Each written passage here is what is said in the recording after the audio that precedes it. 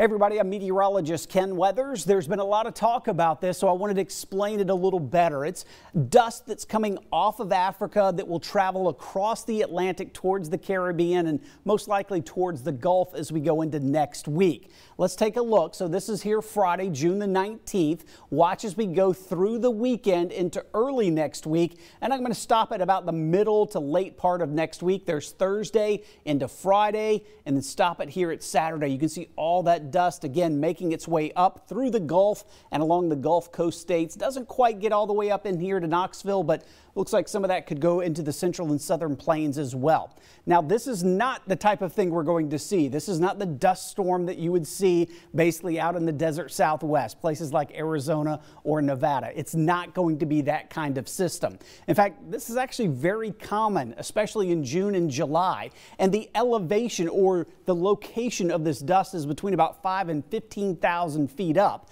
So this is not going to cause a huge concern.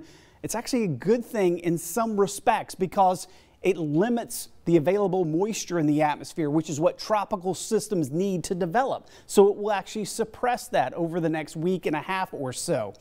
It actually can dump about 180 million tons from the African plains and make their way across the Atlantic. That can fill about 700,000 tractor trailers. So again, this is common. We just don't usually see maybe this large of a plume making its way over. It also can provide some pretty nice sunsets at times. So especially along the Gulf Coast areas, beaches should make some pretty nice sunsets across the area. So again, this is not a huge concern for us at this point, especially here in East Tennessee, but we'll see if we get some decent sunsets towards the end of next week.